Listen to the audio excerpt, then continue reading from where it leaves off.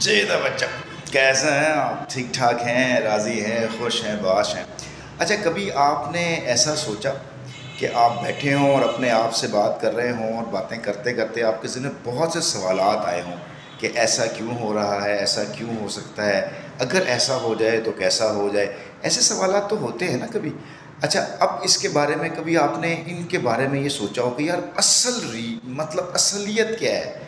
मेरे इन सारे सवालों का जवाब क्या होगा और मुझे क्या करना चाहिए? तो कभी आपके जहन में ख्याल आया कि ये सारी जो ज़मीन, या कायनात, ये सूरज, ये जहाँ जब से बने हुए हैं, इसका कायनात का जो रब है, खालिक है, वो अल्लाह की ज़ात है और अल्लाह ताला ने इन सारे सवालों का जवाब अपनी किताब के अंदर पहले से लोहे महफूज में लिख रखा है। तो कभी आपने उसके ऊपर रिसर्च की कि मेरे इन सवालों का जवाब या मेरे मुस्तबिल के बारे में कुरान क्या कहता है? तो अगर आपने नहीं सुना मतलब किया भी होगा, कुरान पढ़ा भी होगा आपने, तर्जमे से नहीं पढ़ा होगा, जैसा भी है, उस जज्ब की कैफियत में नहीं पढ़ा होगा। लेकिन मैं आपको छोटी सी बात बताऊँ, कुरान कहता है, फ़ल हमा फजूरहा व तकवाहा इम शाकिर इम कफूरा फ़ल हमा फजूरहा व तकवाहा का मतलब ये है कि हमने इंसान के दिल पर नेकी और बुराई दोनों ही रख दी।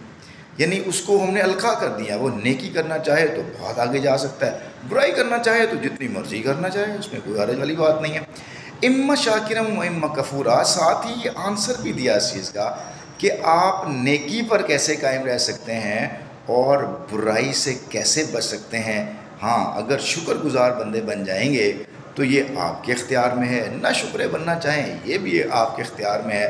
तो गोया समझ में ये बात आई कि अगर हम अपनी ज़िंदगी में शुक्रगुजारी के जज्बात ले आएँ, या शुक्रगुजारी को समझ लें कि शुक्रगुजारी क्या है।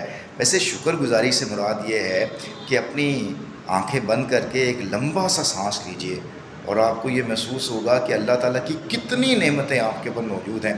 इसका एहसास और रब जुलजलाल के आगे सर को झुका देना कि अल्लाह, मेरे अख्तियार में तो बस तेरे आगे सर झुकाना था और मुझे इस ख्याल करना है कि मैंने ज़िंदगी में अच्छे ही अमाल करने हैं। तो मुझे बताइए हदन सरातमस्तकीम के वो सीधा रास्ता कौन सा है?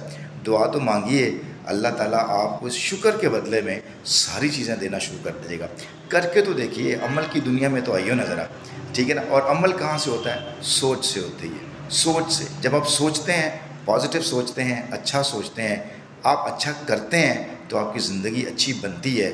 मेरा ये बड़ा यकीन है, मानता हूँ इस बात के ऊपर कि अगर आप दुनिया में वो काम करें, जो जो जन्नत की तरफ़ ले जाने वाले हैं, जो उनको कुरान कहता है कि ये ये अमले साले हैं तो आपकी ये दुनिया भी जन्नत बनती है। इस पर यकीन करके देखिए, करके देखें। आप इन ज़िंदगी में खुशियाँ ही खुशियाँ रहेंगी इन शजीज़ खुश रहिए और खुशियों को बांटते रहिए।